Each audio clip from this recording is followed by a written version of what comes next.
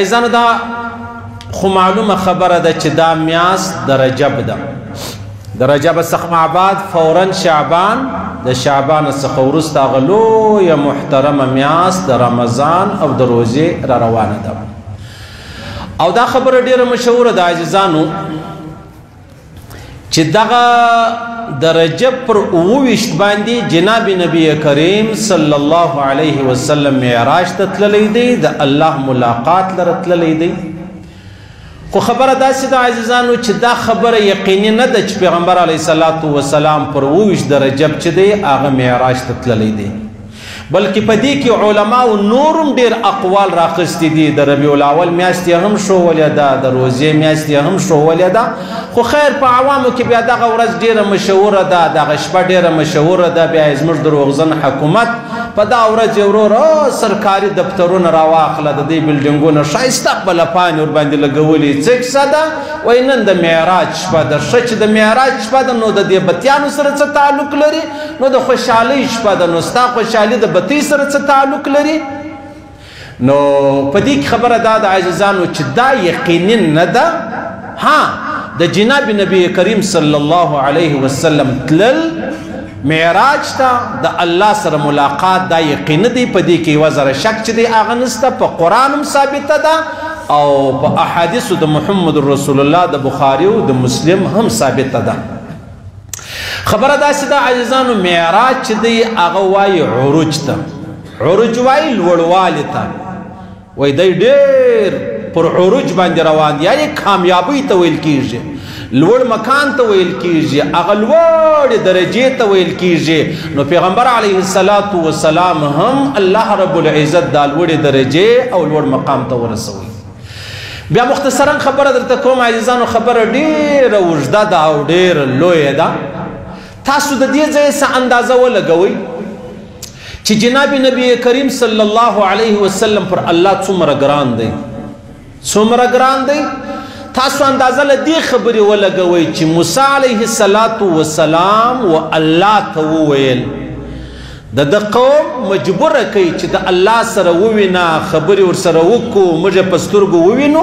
وای بیا الله رب العزت مازی معمولی قدر تجلی چې کوم بلل کیږي هغه نور کوم بلل کیږي دا یې ورباندې راواسته وای کتا د دې وس درلودی بیا به ته ما په سترګو ووینې که نه نو کېدلی نسی بیا دغه و چې هغه د الله له جانبه څه نور د انواراتو څخه راولېږل سلو چې تجلی ورته ویل کیږي نو موسی علیه صلوات و سلام به وشه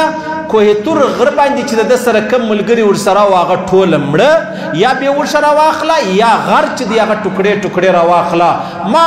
ذمہ ملک قدر د الله رب العزت تجلی چې د اغور باندې رااله موسی علیه صلوات و سلام به وشه او بیا جناب نبی کریم صلی الله علیه وسلم پر ځکه نه الله رب العزت هغه عظیم عرش ته چې دی هغه وغوښتي مختصرا خبره دا د عزیزانو چې دا معراج چې دی دا یو ډیر ایت یو نبی ته الله رب العزت دا مقام چې دی هغه نه دی ورکړی هیڅ یو نبی ته له آدم علیه السلام تر عیسی علیه السلام پر هیڅ چاته دا اعزاز نه دی ملاو سوی ما سوا له جناب نبی کریم صلی الله علیه وسلم پیغمبر علیه الصلاۃ والسلام فرمایي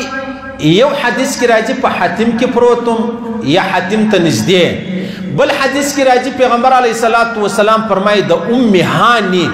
د حضرت علی کرم الله وجه خور د پیغمبر علی السلام د اکا لور زه د اغه کروما چې بیا جبرئیل امین علیه الصلاۃ والسلام را لې زما سفر چې دی هغه ور سره شروع سو اوس په دې کې دوه خبرې دي عزیزانو یو خبره دا ده چې پیغمبر علی صلوات و سلام په خوب کې تللی دی معراج ته بل خبره دا ده چې د پیغمبر علی صلوات و سلام تللی دی دیدار یې کړی دی په ویش یې کړی دی په خوب یې نه دی کړی ولې خوب چې دی هغه کمال نه دی خوب کمال نه دی کمال چې دی هغه د محمد رسول الله دا و چې الله رب العزت ور کړی وو چې په ویشه باندې په ژوند کې بغیر د خوبه الله رب العزت معراج ته او عرش ته چې دی هغه ورسوي پیغمبر علیه الصلاۃ والسلام فرمایي چې کله راپورته کړل جبرئیل امین علیه الصلاۃ والسلام نو بیا یو بوراق چې دی هغه ولاړو بوراق تقریبا تر آس کښنی او تر دا بوده چې دی هغه څلوي وو چې کله د کښینستو ځای رالی د یو واره شوخي شروع کړله جبرئیل امین علی السلام ورته ویل ته نه په خبر چې دا نن څوک سوار لیکي په تا باندې نن څوک مطلب پر تا باندې کښینی او بیا مطلب سفر چې دی هغه کیږي پیغمبر علی صلوات و سلام نه پیژنې فرمایي چې دا دا دا براق خلا خلا سو ودر دي بالکل خاموشه اوس د پیغمبر علی صلوات و سلام سفر شروع سلو چې شروع سلو یا مخته ناس یا شاته ناس څه خاص خبره نه ده په دې کې د مسجد حرام صدا نو پیغمبر سم په مکه کې وسیدي د هجرت سه یو کال مخکې یا درې کال مخکې یا دوه کال مخکې پروا نه لري خو د هجرت سه مخکې خبره ده ولاړو بیت المقدس بیت المقدس ته چې ولاړو هلته پیغمبر علیه الصلاۃ والسلام منځ کړی بیا د هغه ځای څخه پیغمبر علیه الصلاۃ والسلام مبارک روان سلو لدی ځای د دې حرم څخه بیا ولاړ ستر بیت المقدس پر پر بوراق باندې سفر بیا ځپ سه هله هله هله پر جنا باندې چې څنګه د الله رب العزت قدرت ولو ډېرې خبرې په دې کې لټول ضروري نه دي نه زموږ د هغه سره تعلق دی یا پر بوراق باندې تللی یا پر زینه باندې ختلی یا جبرئیل امین علیه السلام خېژولی مقصد چې دی هغه معراج دی د محمد رسول الله د الله سره ملاقات دی پیغمبر علیه السلام فرمایي چې اول اسمان تر ورسېدم نو بیا د اسمان دروازه یې وټکوله پښتنه وسو څوک جبرئیل څوک در سره دی محمد رسول الله د چا په اجازه د الله په اجازه راځي دروازه خلاص سواله چوارلو آدم علیه السلام سره ملاقات وسو پیغمبر علیه الصلاۃ والسلام ته جبرئیل امین علیه السلام وای دا ستا بابا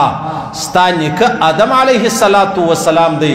سلام کلام تعارف پښتنه وسوله خیر لدی ځای بیا روان سلو دویم اسمان ته دویم اسمان ته چور ورسېدو بیا دروازه وټکېدل بیا پښتنه وسوله څوک تر سره دی د چا سره ور سره دی چا درته ویل دي لکه هغه سکیورټي مسله یې لکه چې ما او تا کینټ لره ځو یا حساس ځای ځو یا د پوجانو ځای لره ځو پښتنې ډېرې پکې کېږي نو دا یو ډېر ناوله د سفر دی نو محمد رسول الله صلی الله علیه وسلم چې دویم اسمان ته ورسېدی دا هغه دروازه ورته خلاص سوله چې کتلې یحیی علیه السلام او عیسی علیه السلام دواړه دالت دي داغو سره سلام وسو کلام وسو تعارف وسلو خیر له دې ځایه بیا روان سو یحیی علیه صلات وسلام عیسی علیه صلات وسلام خبره خو درته وکړه چې روان سلو ولاړې دریم اسمان ته ورسېد یلته بیا دروازه وټکه د بیا پښتنه وسو څوک د کمی خوا څوک در سره د چا په اجازه نش دروازه خلاصه سوله الت یوسف علیه الصلاۃ والسلام یوسف علیه الصلاۃ والسلام جبرئیل امین سمت د یوسف علیه الصلاۃ والسلام د یعقوب علیه الصلاۃ والسلام بچه بچی راواخلا او دا تعارف معروف پر سره وسو پیغمبر علیه الصلاۃ والسلام فرمایي د یوسف علیه الصلاۃ والسلام رقم حسن بیا ما نو ولیدل چې څومره حسن الله رب العزت ور کړیو څومره حسن الله رب العزت ور کړیو او بیا نیم حسن د دنیا الله ودته ور کړیو نیم پر دې دنیا تقسیم کړیو دومره شایست الله ور کړیو خیر دې ځای بیا روان سو بیا څلرم اسمان سو الت ادریس علیه الصلاۃ والسلام علاوال پښتنه وس د څلرم اسمان سه بیا روان سو هله هله ولاړو پنځم اسمان ته هارون علیه الصلاۃ والسلام دا غسر علاوال وسو بیا روان سو مطلب شپږم اسمان دروازه وټکېدله موسی علیه الصلاۃ والسلام هغه سره لاوال وسو مجلس وسلو موسی علیه الصلاۃ والسلام چې پیغمبر علیه السلام ولیدي لسترګې وښکې وبېدلې پښتنه وسوله خیر جبرئیل امین علیه السلام ورته دا موسی علیه الصلاۃ والسلام داسې د بنی اسرائیل داسې داسې پلانې خبرې څورته وکړلې ژاړې ولې وای ژاړې پر دې موسی علیه صلات وسلام ویلې چې لما ورسته یو نبی رالی الله څومره عظیم مقام چې دی هغه ورکړي زما د امت مخکې به الله رب العزت د امت جنت لره بیایي یعنی دا دی نه چې د نعوذ بالله حسد یا عناد یا بغض نه نه خبره دا وله چې دا څومره لوی مقام دی چې الله رب العزت وتا ته درکړي خیر له شپږم اسمانه څخه بیا روان سو، اووم اسمان ته بیا دروازه وټکېدله، چي وټکېدله نو هلته بیا چي خلاصه سوله بیا یو ډېر زبردست ښایسته سړی وو، د هغه سره ملاقات وسو، تعارف وسولو، جبرائیل امین علیه السلام وویل دا ابراهیم علیه السلام دی. پیغمبر علیه الصلاۃ والسلام فرمایي وای ابراهیم علیه السلام چې ما ولیدې ما ته ډیر سوی وو او زه وای ابراهیم علیه السلام ته ډیر سوی وو ډیر ما او ابراهیم علیه الصلاۃ والسلام لکه دوه سکنی ورونه نه ان ولد سړی هم دغه وای د پلاني ورور نه وای و يم داسې پیغمبر علی صلوات و سلام مبارک او ابراهيم علی صلوات و سلام په د خپل چهرو کې په د خپل شکلو کې په د خپل صورتو کې سره سوي ولو بیا لاوال وسلو بیا پښتنه وسوله خیر لدې ځای سه بیا خو زه سدرة المنتهى ته ورسېدم علما فرمایي څلرم اسمان څلرم نه په اوم اسمان کې څلرم اسمان کې علما فرمایي دا غر شي دي دغه جړ چې دی څلرم اسمان دی په وم اسمان کې دغه سدرت المنتها دا یو درخته ده بس دا پای دی اخر یعنی دا داس پای دی جبرئیل امین علی السلام دغه په خوا اجازه نسته بس دا بارډر د دې په اخوا هیڅ چاته اجازه نسته چې هغه په اخوا ولاړ شي محمد رسول الله صلی الله علیه وسلم چې دی هغه بیا د الله رب العزت په قدرت باندې ولاړ خو خیر پیغمبر علیه الصلاۃ والسلام مبارک فرمایي چې کله زه الله ته ورالم د الله سره ملاقات وس الاوال وس بیا الله رب العزت ماته درې خبرې راکړي زما ماته درې خبرې راکړي پر عرش باندې اولنې خبره ماته دا راکړل چې د سوره بقره اخري آیاتونه یا آیات دا ما تراکه چې امن الرسول بما انزل الیه من ربي والمؤمنون تر اخره پورې دا ډیر ثواب لري او دا ډیر دا داسې آیاتونه دي چې سړی په دعا کې وایي ربنا لا ولا تحملنا ما لا طاقه لنا ربنا لا تؤاخذنا دا توري سره وایا الله رب العزت دعا خامخا قبلې دا ډیر خاص کردار کړو عبد الله بن مسعود فرمای زه حیران یم هغه چاته او هغه مسلمان ته چې د ماښام پرې وځي دا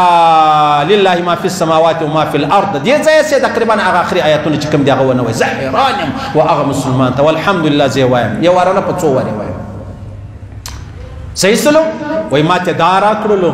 بل یې ماته پنځوس لمنځونه راکړلو پنځوس لمنځونه خو نو خیر بیا موسی علیه السلام ماته وویل چې په واپسې کې راتلم دا ډیر دي نیسي کولی ستا امت بیا کمیده کمیده بیا یې پنځه لمنځونه راکو په دا پنځو لمنځو کې اوس الله دا شی ایښی دی چې سړی راولاړ سي یو لمونځ وکړي دا دی لکه لس لمونځونه چې وکړي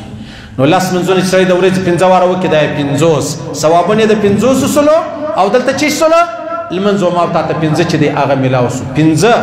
لمنځونه الله رب العزت خاص عظیمه تحفه چې دا هغه ورکړله عظیمه تحفه یې ورکړله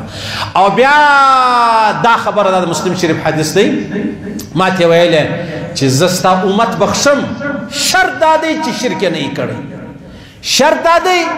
چې شرک نه یې کړی پر ایمان او پر اسلام باندې ما ستا سره وعده ده زه بخشم ما ستا سره وعده ده دا درې خبرې ورکړې چې ور یې کړلې خیر پیغمبر علیه الصلاۃ والسلام مبارک چې رالی رالی خبرې ډېر دي بس ما مختصره خبره درته وکړله چې رالی نو ماښام سار چې راپورته سو ام هانی ته ویل زه خدا چې د شپې ولاړم داسې داسې خبره داسې الله سره ملاقات هغه ورته څنګه ولاړې څه وخت ولاړې هغه داسې د شپې ولاړم چې ولاړې بیا راووتې ول ځمه د باندې ام حني ورته ویلې د ده د اکالو د حضرت علي کرم الله وجهه خور ورته وایم چې دا خلک نه د سره مني ته دې ځای بیت المقدس بیا ول اسمان بیا و بیا ولاړ سه عرش ته دا نه در سره مني دا خلک تنګې دي ما نه نه زخه مخه ورته وایم چې راووته ما دا کیسه وکړه یو کافر په منډه رالی ابوبکر صدیق ته ویل دا کیسه د ویز عرش لتلری ولما ابوبکر صدیق ول نبی ویل کې ویل در دی لا نوري خبر زاغه لمنم توبه اله دا دا څه خبره ده خیر پیغمبر سج دا خبره وکړه زه عرش ته ولاړم به خډیر تازه مسلمانان کافران شو تازه مسلمانان کافران شو مرتد ول دا اوس خبره ده چې تاسو بیت مقدس لولاړم دا اوس خبره ده چې تاسو ولاړم اول اسمان کم اسمان ته دا کله کېدلی سي ابن هشام ولي صاحب فرمایي اوس قریش ورته ویل چې ما ته راوشه علامې نشانیانې راوشه د الله رسول ورته ویلي ول زه چې د دې خوا روان وم زه شام ته تلم نو هلته یو قافله ما ولیدله د قافلې یو وښ ورک هغه وښ ما دی تور وښوي صحیح سو په واپسې کې چې رالم هغه قافله چې د هغه